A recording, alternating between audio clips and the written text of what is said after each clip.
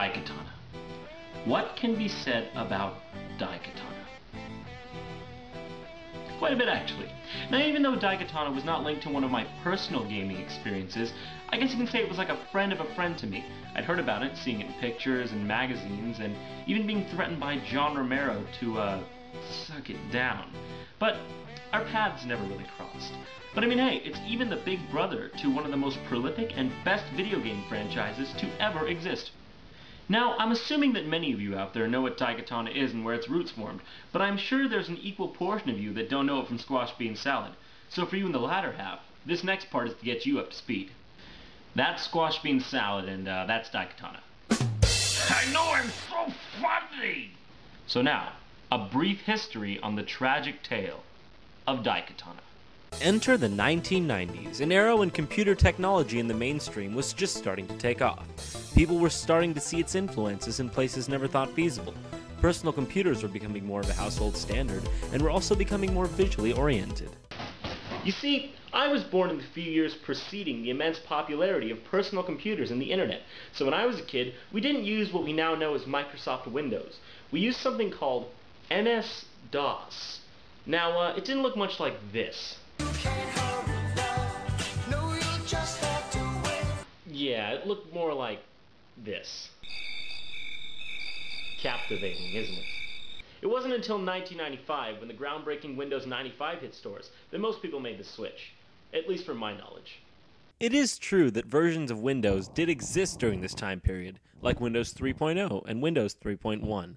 But these were nothing like what we think of as Windows today, and weren't as popular between people that I knew. Look at that. Windows 1.0. More like Windows claustrophobia. The reason I tell you all this is because I'd like to share with you one of the first gaming experiences I had as a child Doom. Doom 2 more specifically, but Doom nonetheless. This game was kick fucking ass. And it introduced me to gaming in a way that Mario never could. Not to mention, it revolutionized the gaming industry and popularized first person shooter as a genre.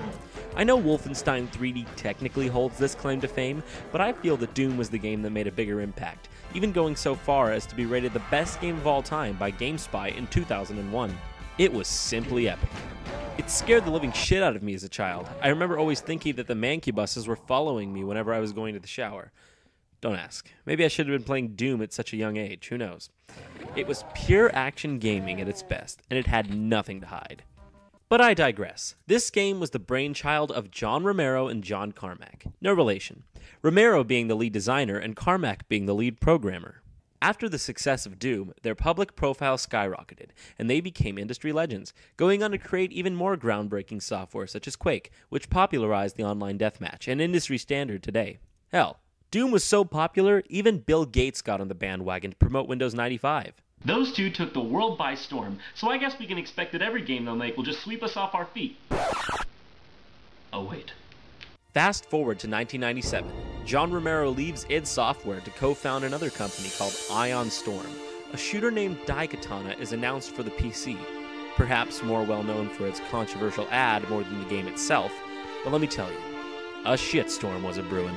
The game was delayed and delayed, and even completely ported from the Quake engine to the newer and more technologically advanced Quake 2 engine. This was not as simple as they had anticipated, and led to them scrapping the entire 11 months of work that they had completed up to that point. The development process was so rough that at E3 1999, the demo they brought in could only run at 12 fucking frames per second. After missed deadlines, eroding company morale, and employees leaving the company during development, Ion Storm finally shat out Daikatana on May 23, 2000, to critically scathing reviews. Hurry the fuck up, or I will be forced to poop and eat. Um, this is, uh, this is Jacques. But I suppose he's right. We should get to the feature presentation. But let me just say, if we're dealing with absolute shit here, we may as well go as low as we possibly can. That's right. we're doing the N64 version. Oh yeah. This baby was originally a rental only at Blockbuster, but it eventually saw a true release. Let me warn you, this this might not be pretty. But I've never played the game before, so we'll be experiencing this for the first time together. Let's go in with a positive attitude and judge it as fairly as we can, because hey, maybe it's an underrated masterpiece that was just judged harshly at the hands of an evolving industry. All right, here we go. There's no turning back now. Ugh. All right.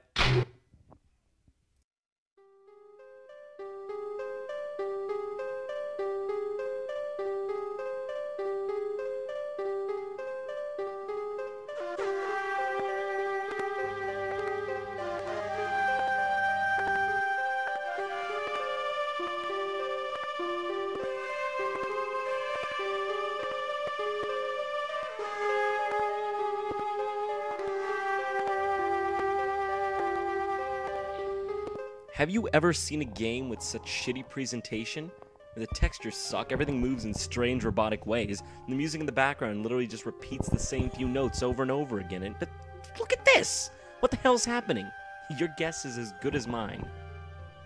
Eventually, this guy stops dicking around and opens the door to the longest and most boring intro cutscene I have ever seen in my whole life.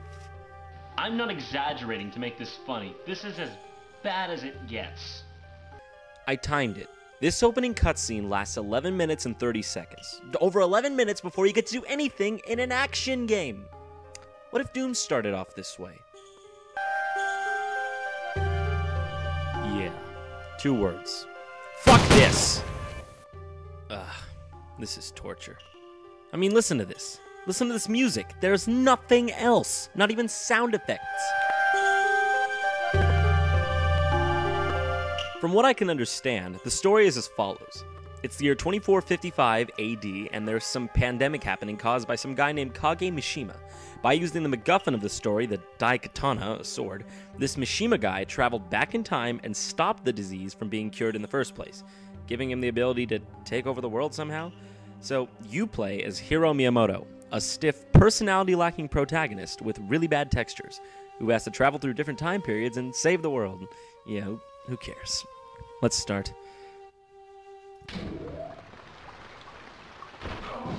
So, you start off in this rainy place, and I guess it doesn't look that bad so far.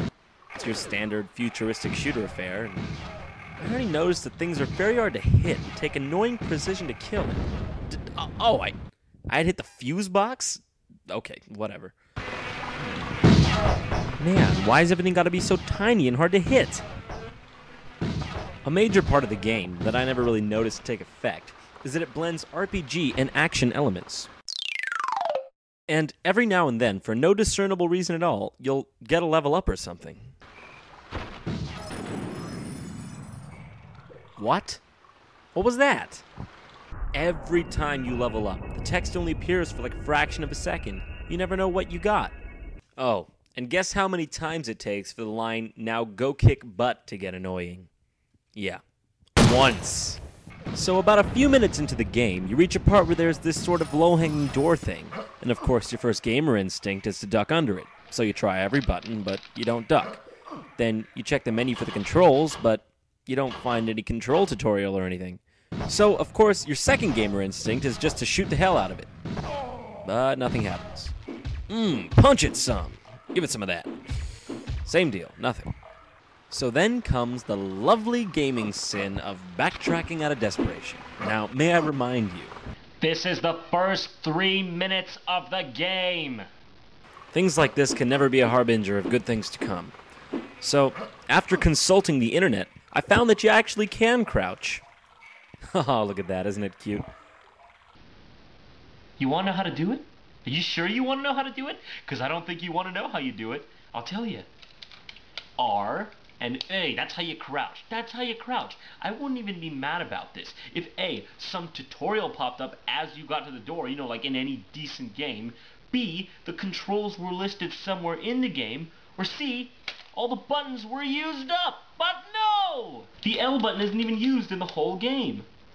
Why? For what reason? Why couldn't crouch be L instead of R and A? Because of this fatal flaw, if it wasn't for the internet, I may have never gotten past the first three minutes of the game. It's like everyone at Ion Storm was on Ambien during the development of this game. But seeing the game as it is, maybe they were.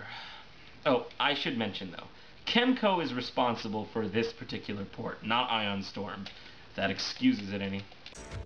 This game has some really terrible and tedious level design. Like, for example, this platform takes forever to come down, and it's really easy to fall off of it because of the slippery jumping controls, which are often a problem, as you'll see later on.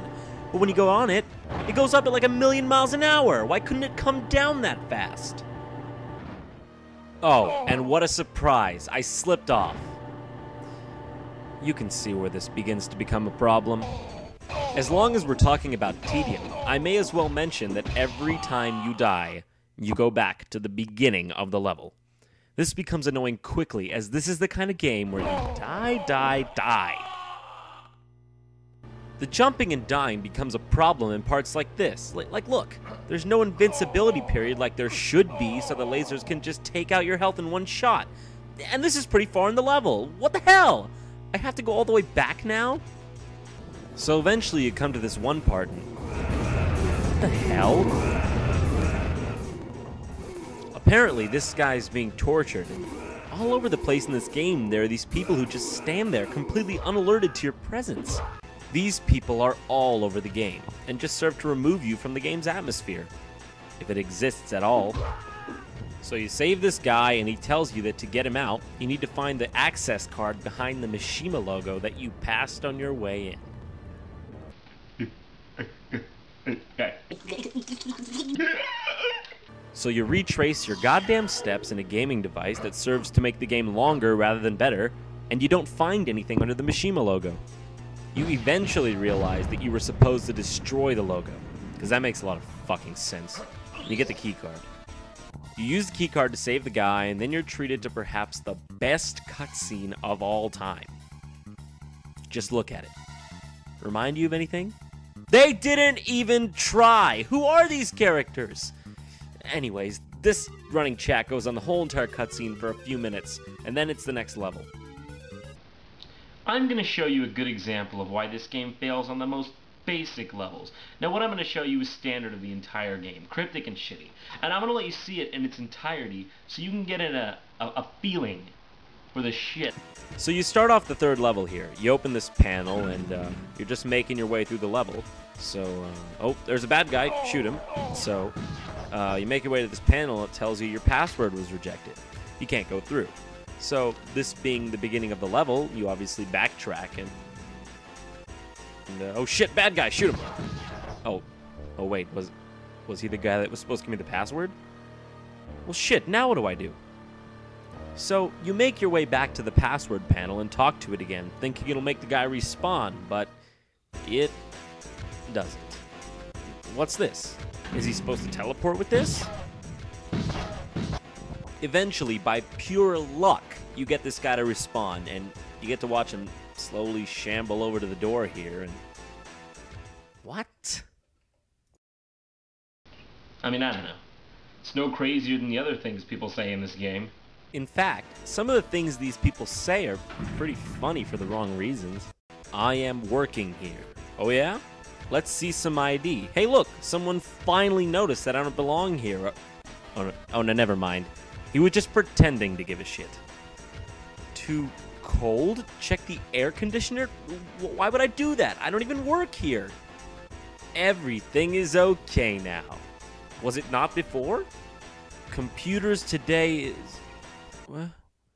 You've got to be shitting me. Computers today is easy to use. No said. This isn't even a foreign game. It was made in America.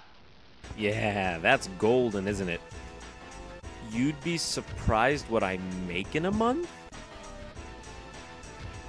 Would I? I don't know, is he being sincere?